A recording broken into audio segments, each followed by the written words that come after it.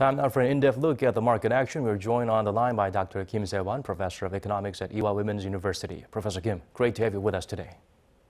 Good afternoon. Right, first of all, the U.S. Fed warns China's property problems, specifically the Evergrande crisis, could have a spillover effect across the world, changing its previous stance from September. Uh, to what degree will the issue impact the global market? Well, I pretty much agree with uh, U.S. Fed's new analysis over the impact of Evergrande's uh, bankruptcy because China covers the bottom of uh, global production chain and the financial market.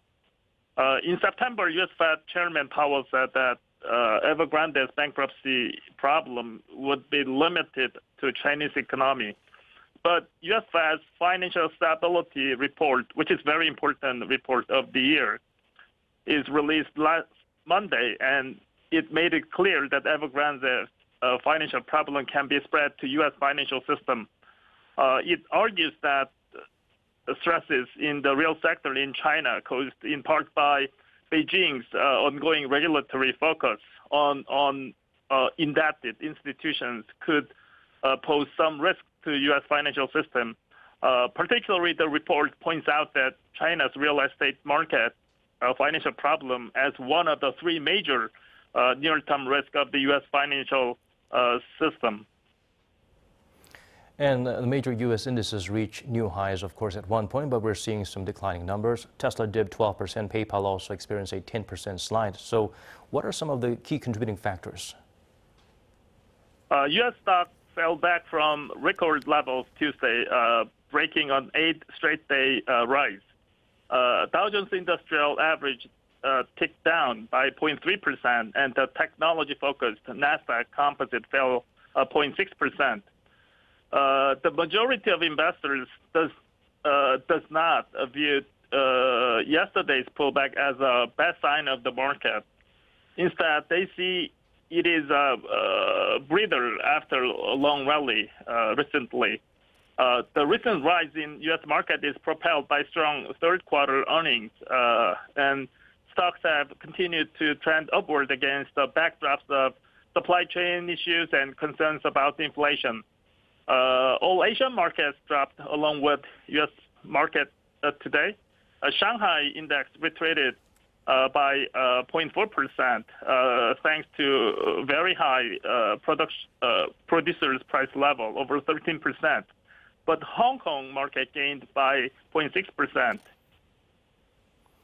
Back here in the nation, Korean stocks also showed declines. The Kosdaq stood out, of course, and among the powerhouses, we had um, Hyundai Motors, Kia, and of course, LG Chem dipping, while Samsung Electronics and Kakao remain solid. What's your overall analysis of the domestic market today?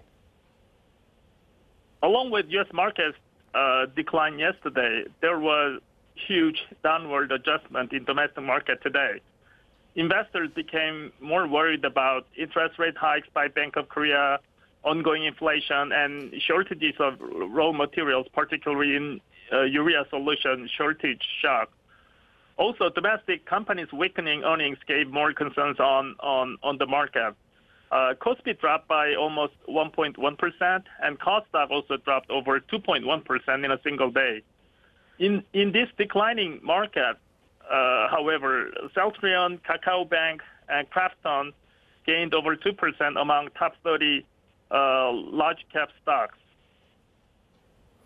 And the global supply bottleneck situation, of course, is continues to persist. It's affecting countries highly dependent on trade. And uh, we've, we've seen some decoupling between the U.S. and South Korean markets. How are investors swayed by such developments?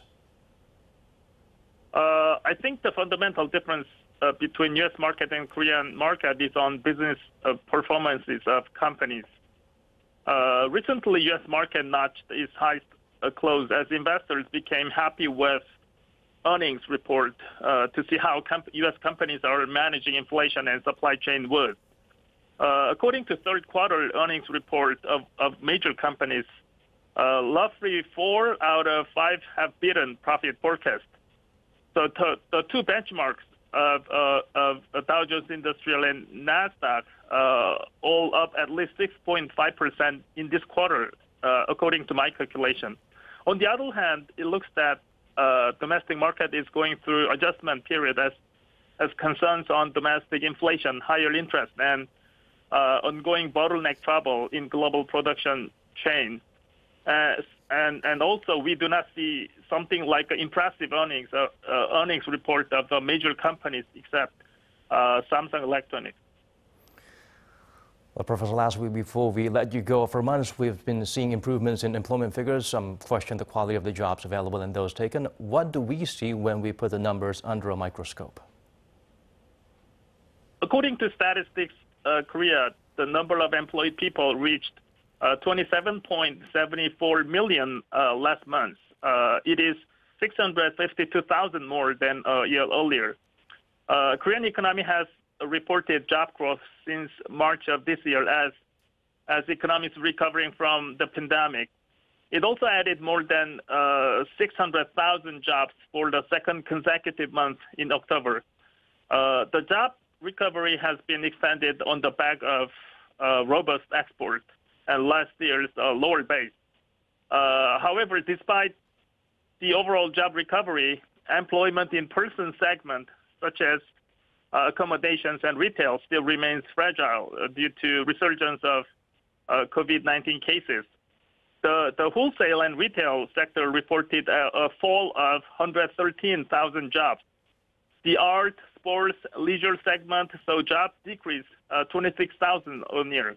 The manufacturing sector, uh, which is a backbone of uh, Korean economy, reported only a fall of 13,000 jobs last month.